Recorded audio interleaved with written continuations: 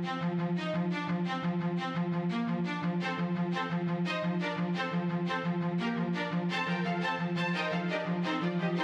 you.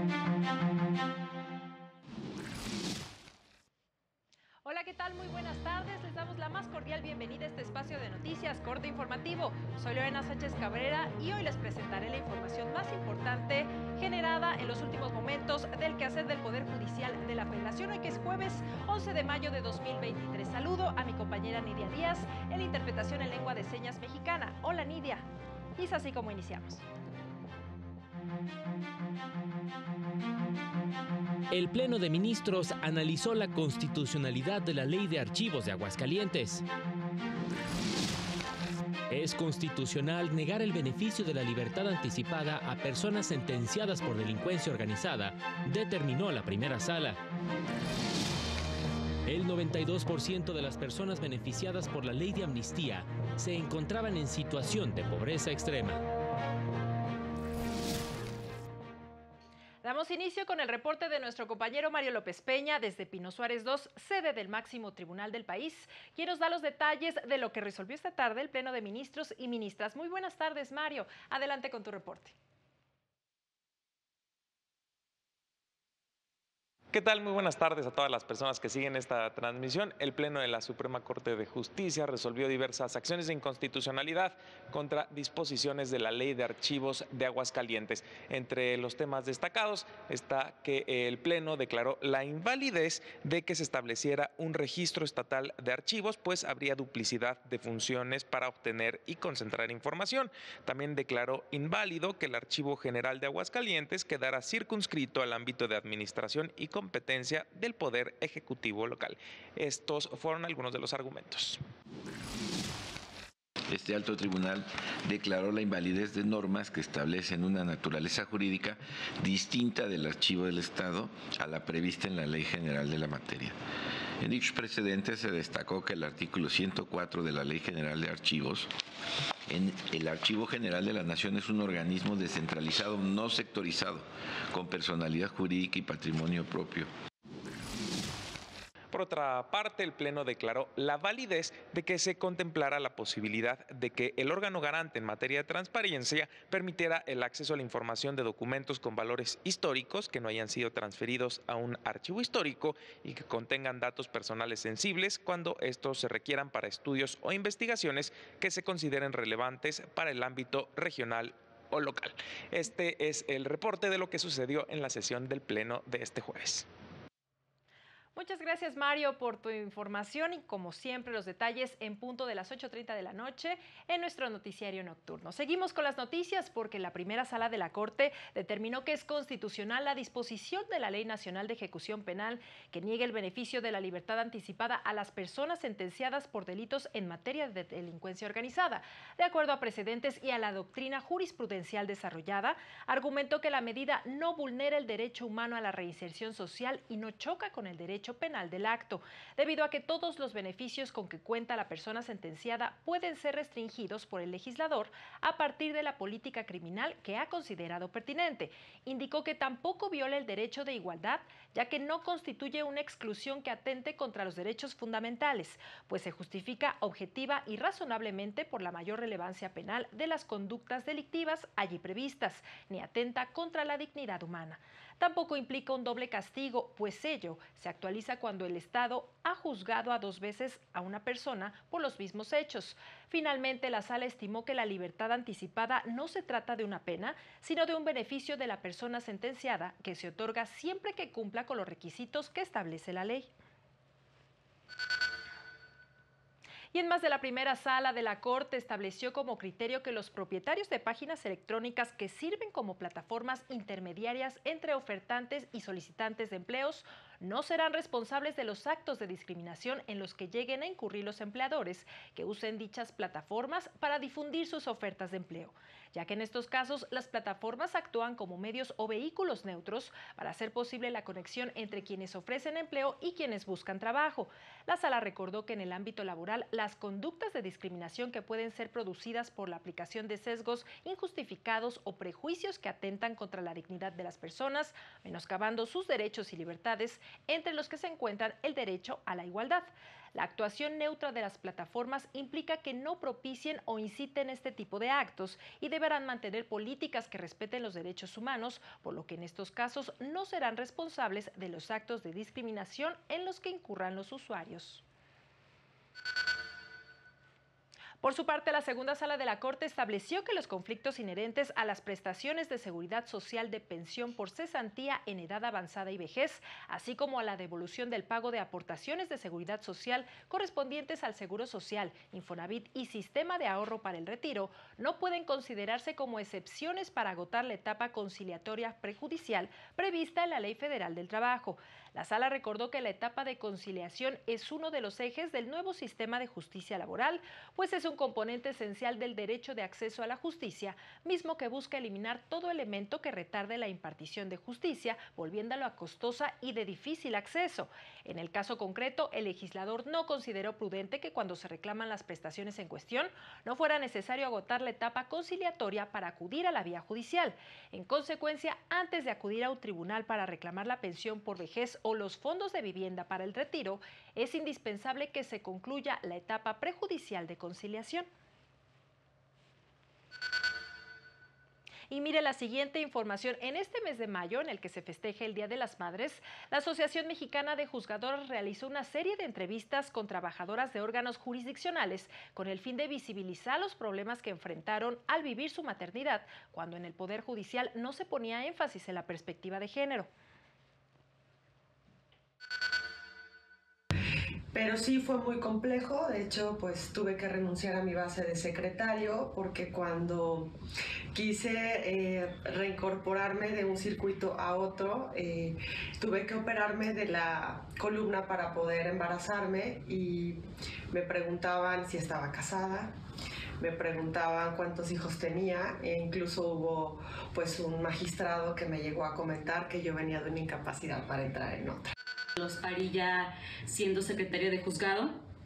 Fueron dos embarazos de alto riesgo que tuve que compaginar de todas maneras con la guardia alta, con la guardia baja, con la cuenta diaria y actualmente como secretaria de tribunal donde la carga laboral eh, es continua, es la misma.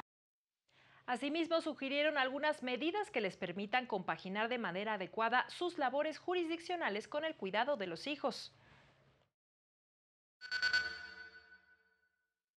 En lo particular, como mamá servidora pública, me gustaría que todas mis compañeras que también lo son contaran con esa empatía y comprensión por parte de sus titulares, de sus jefes, de sus superiores jerárquicos eh, inmediatos. Eh, en los momentos más críticos para una mamá, que considero que son aquellos cuando tenemos a uno de nuestros hijos enfermos. Es decir, que no tengas que padecer la maternidad por trabajar o que tengas que padecer trabajar por ser mamá. Eso es muy, muy complejo. Creo que el tema de los horarios eh, es algo que ahora pues, eh, pues sí se atiende eh, a las necesidades del servicio, pero creo que ver a los hijos dos horas al día pues es realmente complejo para dar una, una educación pues ahí está complicada situación de las dobles o triples jornadas que nos compartieron. Vamos a otra información porque de acuerdo con un informe de la Defensoría Pública Federal al cierre de 2022 tramitó 724 solicitudes de amnistía ante la comisión, las cuales pretenden beneficiar a 133 mujeres y 591 hombres, logrando que se concediera la libertad a 161 personas, 66 mujeres y 95 hombres. De las 161 libertades obtenidas, 149 se otorgaron porque las personas se encontraban en una situación de pobreza extrema, es decir, en el 92% de los casos. Otras causas por las que se concedió la amnistía fueron porque cometió el delito por indicaciones de su pareja, por temor fundado, discapacidad, discriminación y porque se trataba de personas indígenas que no contaron con intérprete. De las personas que obtuvieron su libertad, 21 pertenecen a comunidades indígenas, 7 son mujeres y en cuatro casos se demostró que fueron obligadas a cometer el delito. De las personas liberadas, 157 fueron procesadas por delitos contra la salud, 3 por robo y una por tráfico de personas. El documento destaca que de las 230 mil personas que se encuentran en prisión, 137 mil 108 han sido sentenciadas y 92 mil 892 están bajo proceso. Además, existen 132 penales con sobrepoblación.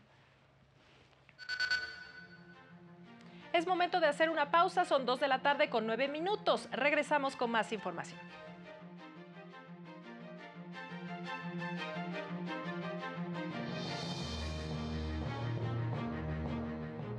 Al regresar, solo siete países permiten la muerte sin dolor en caso de enfermedad incurable.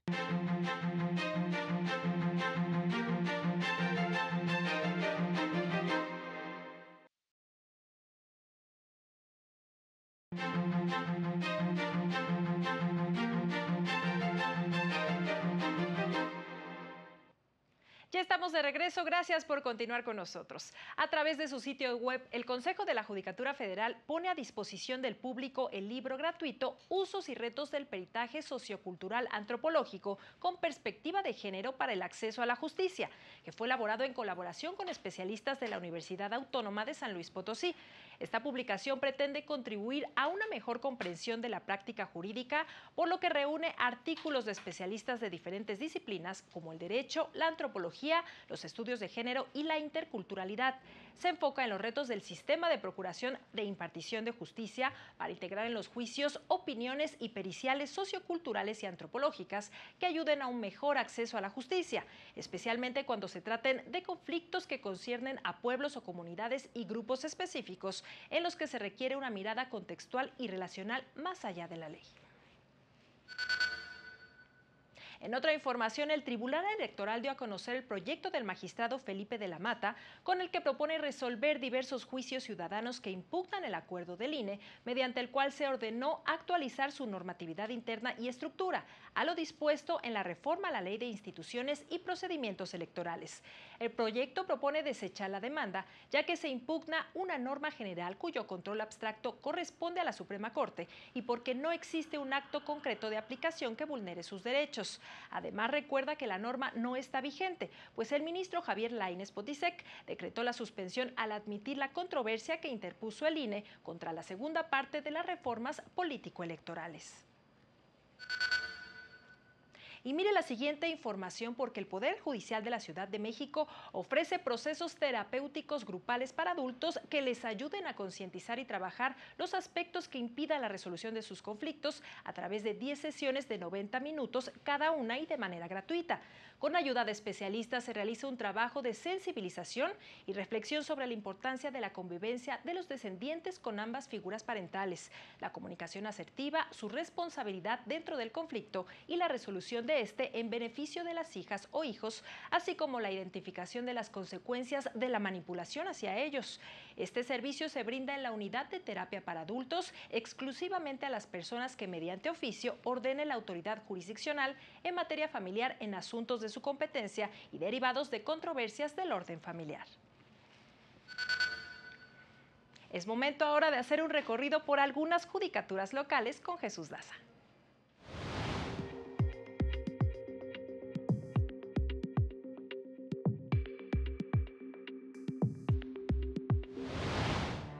Poder Judicial de Chiapas encabezó el acto de liberación anticipada de personas privadas de su libertad para impulsar la rehabilitación y la reinserción social. Desde 2013 se han liberado a 4.906 personas no reincidentes.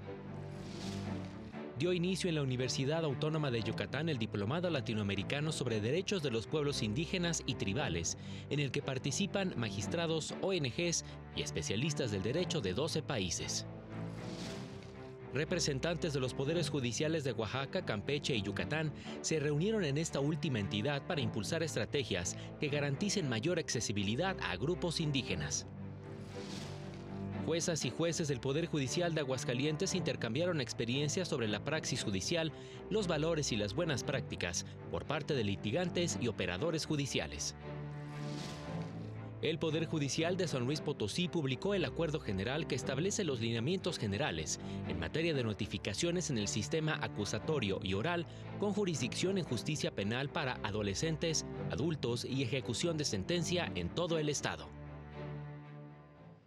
En más noticias, a pesar de considerarse que es parte de un derecho humano a una muerte digna, solo en siete países es legal la eutanasia, revelaron especialistas universitarios. Se trata de una figura polémica, con mucho rezago en su desarrollo jurídico, a pesar de tratarse de una alternativa para poner fin al dolor y sufrimiento que registran algunas personas a causa de alguna enfermedad incurable. Ante el rechazo de la eutanasia, se han desarrollado otras figuras como el suicidio asistido, y en el caso de la capital del país se aprobó la ley de voluntad anticipada que permite al paciente rechazar tratamientos que prolongan la vida pero que no evitan el sufrimiento. Queremos establecer una red de um, información para que las personas sepan que existe una voluntad anticipada y que son capaces y pueden firmarla.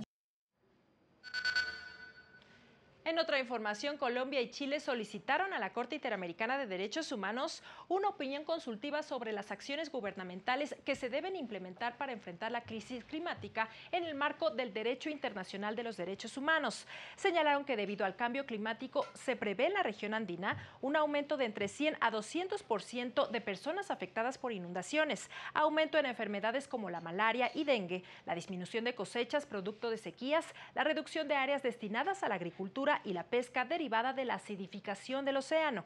Frente a esta emergencia señalaron resulta necesaria las opiniones consultivas de la Corte Interamericana, ya que brindan a los estados parámetros importantes para asegurar la garantía de derechos humanos y son relevantes para aclarar el alcance de las obligaciones internacionales. Es así como llegamos al final de este espacio, como siempre agradeciendo su compañía e invitándole a mantenerse aquí en la señal del canal del Poder Judicial de la Federación. No se pierda a las 19.30 el avance informativo y a las 20.30 horas el noticiero nocturno. También este sábado 13 de mayo le invitamos al estreno del Semanario Judicial a las 18.30 horas con sus repeticiones el domingo a las 10 de la mañana y a las 18.30 horas. A nombre de todo el equipo que hace posible esta emisión, le deseamos que tenga una excelente tarde de jueves. Hasta pronto.